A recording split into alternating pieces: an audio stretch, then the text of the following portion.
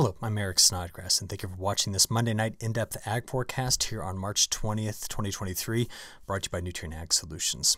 We're going to start tonight with a question I got uh, twice over the last week, and it's from growers that are in the midwestern part of the United States. So I'm going to kind of focus on there uh, to start uh, tonight's video.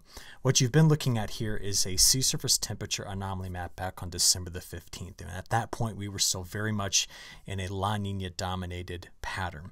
Now, what has happened since then, of course, is that this has changed dramatically. The very strong trade winds are now gone. We've now seen westerly wind bursts in this area. Warmer water has returned. We're well above average over here near South America and almost to average here in the central equatorial Pacific.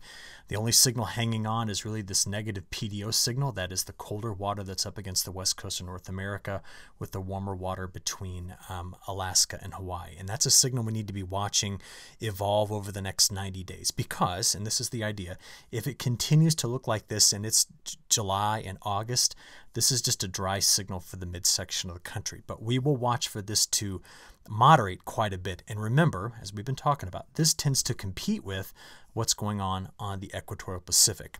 Now, just to be very clear, all of these factors are um, are symptomatic of what the atmosphere is up to.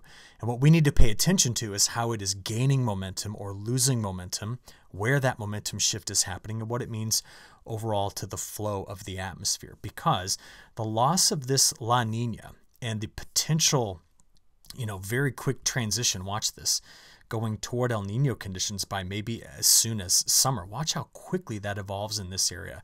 That's going to be maybe our most important um, forecasting metric going forward. I think all the models are too aggressive on it, but even if they're, let's say they're halfway toward the right speed at which this evolves, this is still a very quick transition away from ENSO-neutral into La Nina conditions. So this is the question. If you go back and look all the way back to when we have the most reliable data, so from 1950 to present, and you look at all of the big uh, El Nino events versus the La Nina events, and specifically the years that transition from La Nina to El Nino, have there been years, and I was asked this by a, a two growers that form uh, farm corn, excuse me, they asked, are there any El Nino years when we had a developing El Nino that we were off trend nationally? So what I did was I went quickly to the USDA NASS data set, pulled up national corn yield, made a quick spreadsheet of it, detrended it. By the way, if we continue this trend line, we're at about 180 when you detrend from 1970 to present. If you detrend from uh, 2000 to present, the next year's average yield should be about 181, a little bit, a little bit over that. But here we go. Uh, I plucked off those years that were El Nino building years, like the one that we're anticipating, and this is what you've got. Of the 17 times that that happened since 1970, um, I only found one, two, three that were below trend. That would be 1977, that would be 1997, and 2002. And remember, 2002 was incredibly hot. But all the rest of them were either on trend or above trend.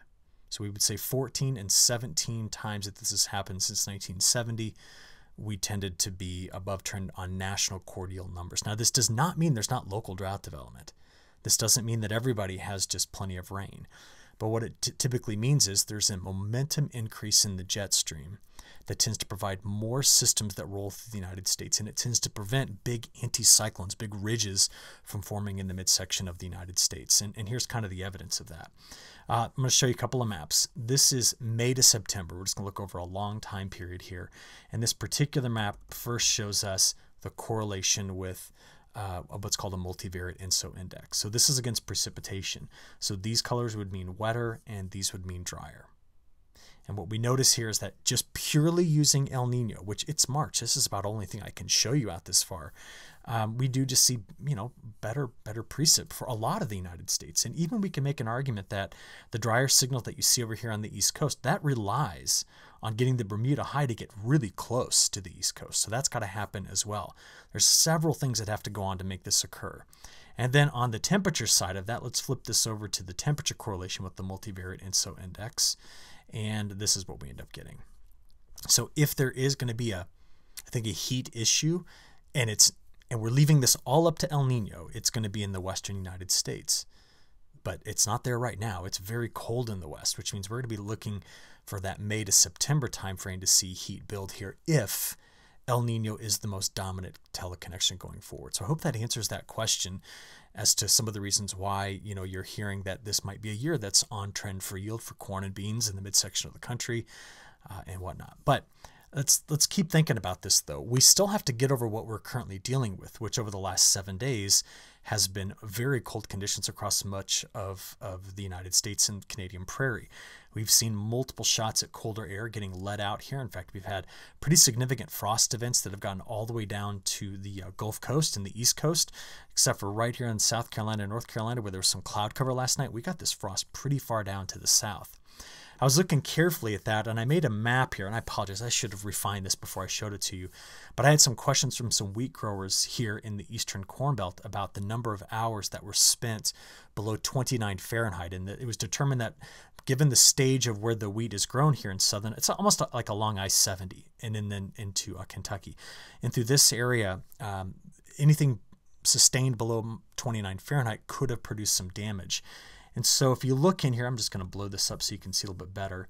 You know, this pinkish color represents more than 48 hours going from the 15th of March until yesterday and of having that. Now remember, this is below 29. That's why you don't see the coloring all the way down here. Plus I don't include today's data.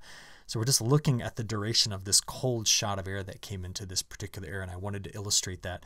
We spent a lot of time very cold over the weekend uh, in this particular region. So just wanted to answer that question as well. Then we turn our heads to what's going on in the northern plains. Uh, so just kind of stitching this all together.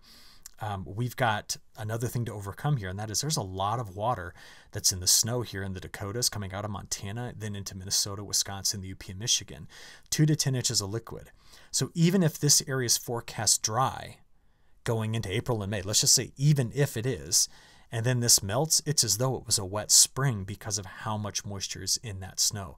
Much of this area is having one of its wettest starts to any year on record, going back to 1893.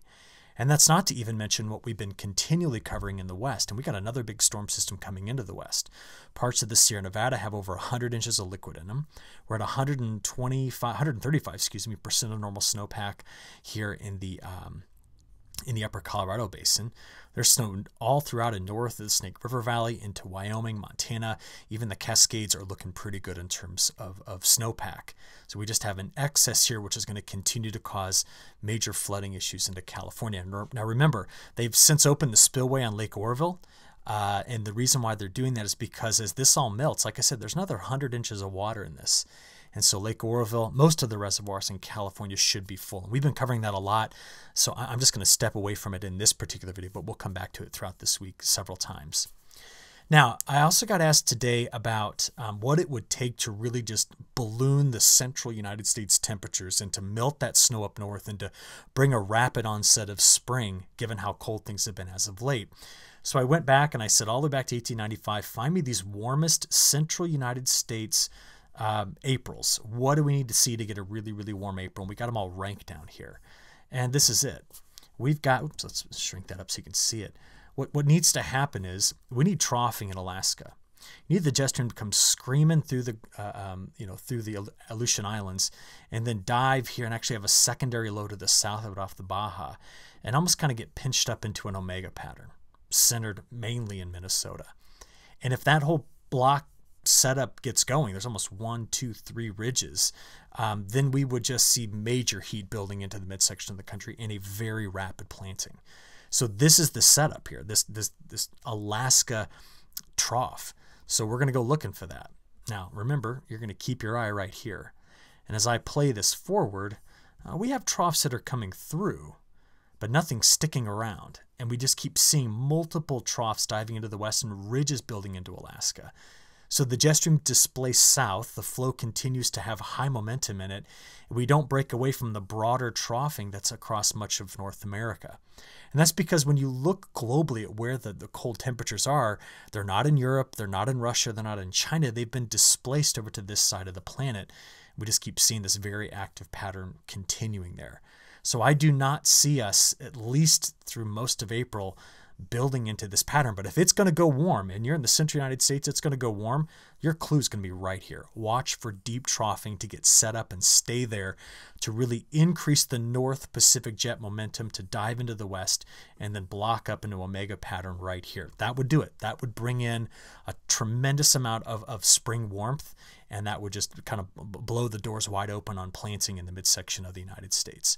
But as we just saw, not a whole lot of indication of that coming to finish March and to start April. That's what you're looking at here. This all goes all the way through the first week of April. Uh, there's another component to this. It would really help if we could keep the MJO out here in the open Pacific Ocean. This is like phases seven and eight. But as we're going to see, the MJO, designated by these colors in through here, is back over. Just follow it uh, up down on the graph. So through the end of March and beginning of uh, uh, of, of, April. It's it's here. It's in the Indian Ocean or north of uh, um, uh, Australia, excuse me, and that is just not the right position to have a tropical telenet connection to bunch the jet stream up into a big omega pattern in the Midwest. See how that kind of works? We're kind of comparing the tropics to the extratropics. So the MJO instead is over in phase one. It's going to try to jump out into phase two and phase three not over here where we want it. This is where we want to see it. I want it to pop back out into phase five, six, and seven. Because historically, let's just pick a phase. If it's April and we do not have an El Nino, excuse me, we do not have an El Nino or a La Nina, phase seven in April, if we just take a look at it here, yeah, see, we get a little bit of weak ridging um, that happens in the Aleutian Islands, troughing here, trough there, and then there's your ridge. That could do it. That would open it up. But we've really got to get the MJO back out into the West Pacific to see this happen. And right now it's in the Indian Ocean moving toward the West Pacific, but may not get there until we get fully into maybe halfway through the month uh, of April. Now, remember, the pattern can change in a heartbeat, right? Uh, think back to 2018. Uh, this right here, statewide average temperatures in 2018. This was one of our coldest springs in the midsection of the country in recent memory. In fact, in all of our data collecting. You know, Iowa and Wisconsin had their coldest Aprils on record. Okay, so that occurred. And then the following May, like I said, just kind of blew wide open. Uh, Illinois, I look at all these states right in through here, all had record warm Mays. And I'll never forget this because I did a calculation for the first two weeks of May in Illinois because it was dry as well. And uh, during that time period, because if you look here, we were near normal on precip for the month. Um, the state of Illinois planted its corn crop at an average pace of 400 acres a minute. So when the window opened, crop went in. Okay, so with all of that as a backdrop, we do have new data for the month of April. Okay, and the European model did not budge from where it was in the previous runs from Friday. It continues to just see if there is warmer conditions coming through, they're transient and there's just more cooler air anchored in the west, but at times coming out of the Canadian Prairie, northern plains, and down here into the uh, over to the Appalachian Mountains in the eastern co- eastern side of the United States. The warmth you see over the Great Lakes, that's because it's mostly ice free, and then we do see weak ridging at times, keeping Texas, Oklahoma, Kansas a bit mild compared to normal. But they, the model didn't break at all from what it had been showing. And on the precipitation side of it, but the only changes is it backed off on the extent of this really wet weather. It's now got it more in the mid south parts of the Midwest, really focused into this area. I can say that it did have, uh, it is now less dry for the southern plains. Maybe there's something pushing through there we're going to talk about here in a few moments. But overall, um, this is still suggesting a wet and cool May for much of this area. And then there's a lot of snowpack here that's got to melt in the north and very cold conditions still in the west, even though we're now starting to see a drier signal for the west. And this is, I mean, everybody wants this. We need to get a drier signal and eventually a warmer signal coming for the western United States. We're going to talk about that throughout this week as well. All right, just a reminder this was NOAA's outlook for the month of April. Now, NOAA was seeing more, I think, of a progression of the MJO to get us back into something like this with the southeastern ridge and that would make sense to pull the moisture here and track systems in this direction running up uh, into some drier weather anchored into the southwest. I think that's what they were going after with this forecast. But remember, they released this on March the 16th. So just it was it was a little while ago. When we also look at what the CFSV2 is doing, can you mind just kind of squinting your eyes here? There's week one and week two. So we know this, right? Look at the colder pattern. But by week three, week four, the model no longer keeps the warmer bias it had here over the eastern side of the country. In fact, maybe a little bit of a warm up that second week of April, but they're trying to bring back in the colder conditions once again. So even the CFSV2 has backed off on giving us a hope for just a really warm April at this point. Until that changes, until maybe the MJO moves around or some blocking actually sets up in the in, in, the jet stream, I don't know why this would fail. I think this might be what we're dealing with. I'll be looking for those signals for warmth, but I'm not finding them as of yet. Now, today I got asked a question about drought. And I was talking to a grower in Kansas, and the question was all right, Kansas is clearly the epicenter of the deepest drought that's still in place. Now, we know there's a bunch of snow here that's going to help continue to cure this. There's a bunch of snow here that's going to erode this, but in Kansas, we've just missed out on it. In fact, you look back over the last month, and models have over predicted rainfall in this area quite a bit. There's been a few scattered storm events, but over predicted rainfall here. It's actually over predicted on the Gulf Coast and East Coast as well. But you notice that all around it, there's 150 to 300% of normal precip here across the northern tier of the U.S. The mid south has been wet, and of course, the west, especially as of late, has been extremely wet. So we begin to ask, what does it take to get rid of this? What would have to happen in April or May to eliminate this drought quickly? And here's the answer. I just picked out Kansas, but this would apply for the surrounding states. And I said, tell me what it takes to get one of these wet Kansas April and May timeframes. And this is what it would take. The jet stream has got to develop a deeper trough, excuse me, there we go, a deeper trough sitting here and a deeper trough that's going to sit right over the state of Arizona. You see, if that happens, the jet stream will end up doing this. And if it makes that hard turn around a trough repeatedly in Arizona, what it ends up doing is it takes the dry land, which has been as far east as about the 98th meridian, and starts to pull it back. It starts to allow more of the moisture to get pulled into these systems that are forming farther and farther to the west. In other words, we're eliminating the extended rain shadow. So if we start to see troughing over the Aleutian Islands and troughing over Arizona, that is the best setup for Kansas to return moisture. Now, I'll tell you something. This would come via incredibly nasty, severe spring weather into that area. That's what we would get in April and May, because this would open up the Gulf, transport the heat in the unstable air north, and we would light it up with severe weather. So we need to eat away at this drought in a slow mechanism, not all at once, due to the risk of having a lot of severe weather should this particular pattern set up.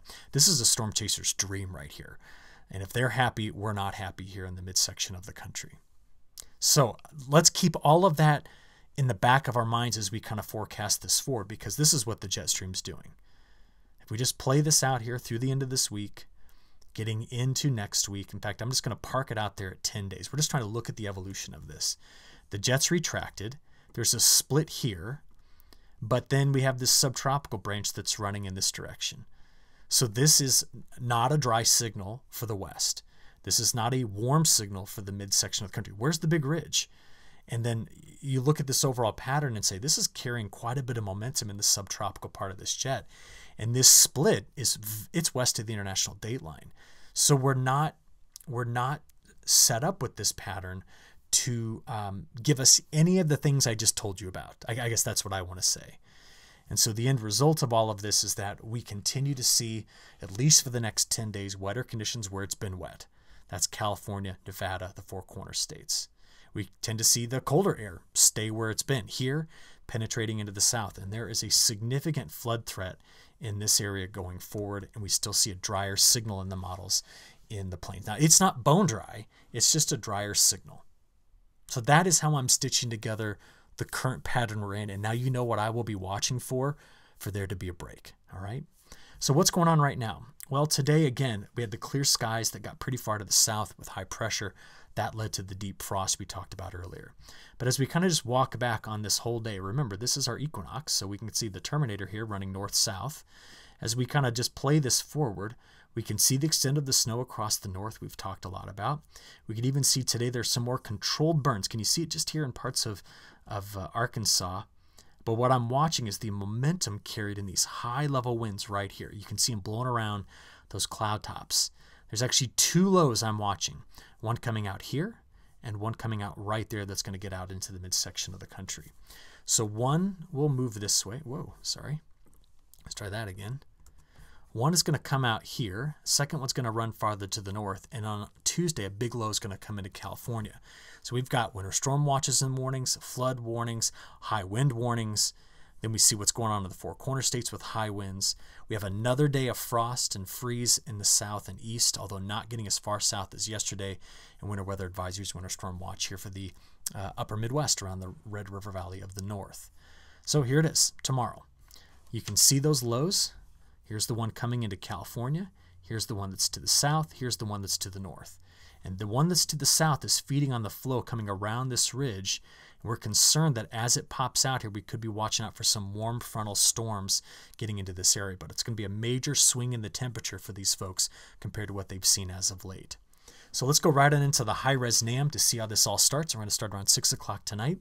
And as I play this forward, you're going to see those two lows, 1 and 2, start to emerge. So they're spreading snow in Montana. This one leads and puts down some showers here by tomorrow morning in parts of Kansas, Oklahoma, Arkansas, Missouri. Maybe a chance for some mixed precip back here in parts of Nebraska. While all of that is coming through the midsection of the country, high pressure's east and another deep low is moving into California. We've seen snow levels of about 6,000 feet, maybe 1 to 2 feet of snow, heavier rains in the interior, and very heavy rains into Southern California. So moving through the day on Tuesday, you see the first wave moving through Missouri into Illinois and into Indiana. And while that's going on, the wave to the north is delivering snow to parts of the Dakotas, over the Red River Valley into northern Minnesota, Wisconsin, and the UP of Michigan. So that's this next low that's prompted the winter storm watch into this area. But as the storm system cuts through California, it's eventually going to start to get through the Four Corner states, adding more snow to the upper Colorado Basin. And there's actually going to be an elongated warm front sitting right in this area that throughout the day on Wednesday, we're going to keep an eye on for the potential for some stronger storms. This is a tough one for me to forecast where these storms could possibly be. The Storm Prediction Center has them here on Wednesday in parts of Iowa, Missouri, Kansas, but that's still just a marginal risk. What we're going to watch is as that low emerges, on um, day four, which would be Thursday, possibly in central Texas to the Red River Valley of the South, and day five over the lower Mississippi River Valley. So that's a day four and day five outlook. That's the end of this week, uh, Thursday and Friday. So we're going to go to our multi-model analysis to see those 12Z GFS on the left, 12Z European on the right. So let's play where we've already seen through. So we've already got up to about this point.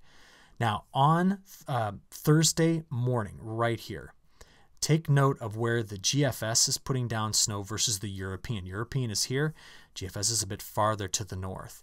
There's going to be some scattered storms and rain into this area coming out of northern Missouri, southern Iowa, into northern Illinois, and then into the eastern Great Lakes. So this is now Thursday morning, Thursday afternoon, and evening. Already the models are having a difficult time understanding where the stalled out frontal boundary is because the European brings a high in here while leaving the broader high there. The GFS has a similar position on this high, but a much broader high to the north, and that's just changing the position of this front. And why that's important is it's going to tell us how much rain is going to fall in this area. Because as we go forward from Thursday into Friday morning, this is where we're going to be watching the risk of those strong to severe storms. Remember, Thursday night, right in through this area. And then we're going to see on the back side of this maybe some more snow cutting through this area. Notice what the European is doing. Now remember, on Friday night, I'm going to keep an eye on the lower Mississippi River Valley. It is in both models here. And also, this is just a non-stop pattern. We've got another system coming into the northwest. So this is Friday night, getting into Saturday morning, Saturday afternoon, and evening. And then that low curls through New England. Now, the models are attempting to give enough cold air into the interior of New England to add more snow to this area. And it's actually in both models here, but from southern Ontario to southern Quebec and then possibly interior portions of New England, we're looking at a pretty sizable system coming through. Now, that's just through Sunday. We then see that early next week, both models are attempting to take that system that came down through the Pacific Northwest and eject it in here. So that's another time period on probably Sunday night, Monday, of severe weather in the south, maybe another round of snow cutting through this area, and more rain for the eastern corn belt. And don't forget, there's another system that follows it. So this is next Monday into Tuesday. You can see as that one tries to exit east, there's I don't know, is this the fourth or fifth system coming down here into the uh, into the west? So I want to compare models. GFS, if it's wetter, you get these colors. If the European is wetter, you get those. So notice where the GFS is wetter. It's wetter in this area. And that was the difference in the position of the front. So the European's wetter on all sides of it. But the GFS is wettest right in through this corridor when you compare the next uh, uh, seven days. If we just get a broader view of this, this is the probability of getting at least an inch of liquid out of the next 10 days. And that's where our wettest conditions are going to be east of the Rocky Mountains. In the west, we can start stepping this up. This is the probability of two inches of liquid equivalent. So the still the west has got a lot of wet weather coming in.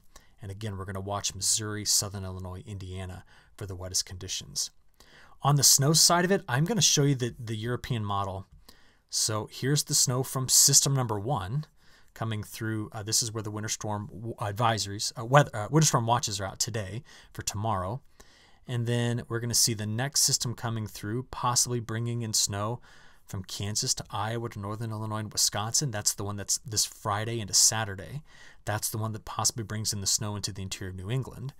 And then remember, there's another system that follows it next Monday, Tuesday. And you see where it's adding the snow. So we're trying to identify those snowy corridors.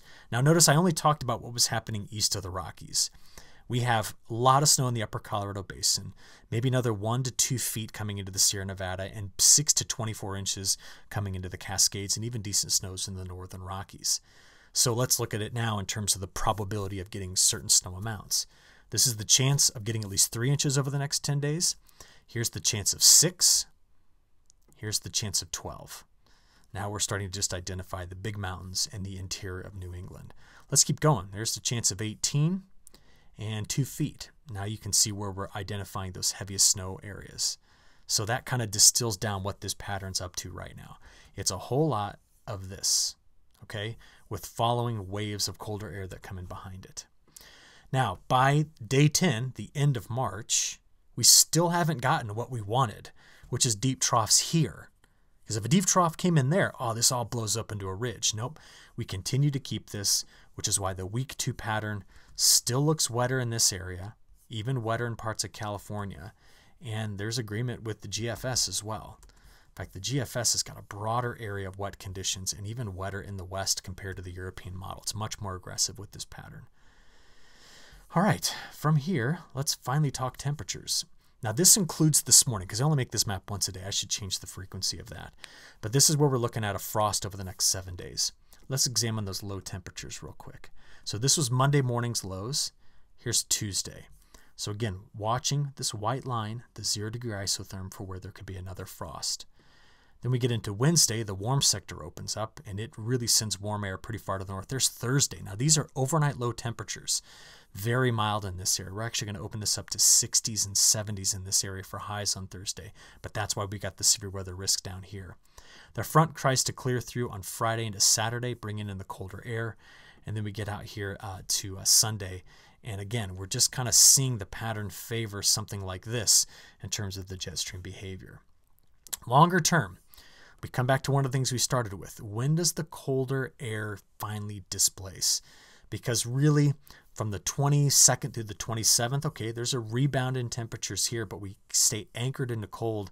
The model's been very consistent with this in the northern plains, upper Midwest, and also here in the western United States. And as I just play this forward, we see that through the end of March and the beginning of April, like we talked about at the beginning of this report, we just keep seeing the models want to push more cooler air all the way across the United States. And that's why we think that if there's going to be a pattern change, it's going to have to be maybe 20 plus days away from now that starts to really shift this around. Okay, so that's my that's my narrative for North America. In South America, we know that for the last several months, but especially the last three, along the Paraná River Basin, we've not only been dry but exceptionally dry, uh, very very dry. Remember, we had the frost event that got in here around February 18th, which was kind of bookended by weeks where the temperatures were up in the hundreds. So the, the, the amount of variability in the weather pattern in Argentina has just been tremendous. And look what it's doing now. Over the next 10 days, we are expecting in that same basin that's in drought, possibly an extra four inches of rainfall compared to average. So it's like getting a very wet go of it in the Midwest, uh, United States, in September. Heavy, heavy rains coming too late. This is very important. This dry signaling through here, this is an area that's very late in harvesting soybeans. We had a lot of flooding in this area uh, in February and early March. So to see a drier signal means they're going to rapidly finish harvesting soybeans and get a safrinha crop in. And then here into uh, Mato Grosso, near normal precipitation on the safrinha crop. It had been wetter, uh, but we do see near normal precip. Now we ask, is there anything that's going to stop this monsoon and, and hurt this late planted safrinha crop? Well, if we just look out there all the way through the month of April, I don't see it. There's no indications right now that this monsoon is just going to shut off all of a sudden and cause major problems. Now, if that changes, I will be sure to let you know, but I'm not seeing it at this point. Okay, I'm going to stop there. Have a good rest of your night, and I'll talk to you again very soon. Thanks.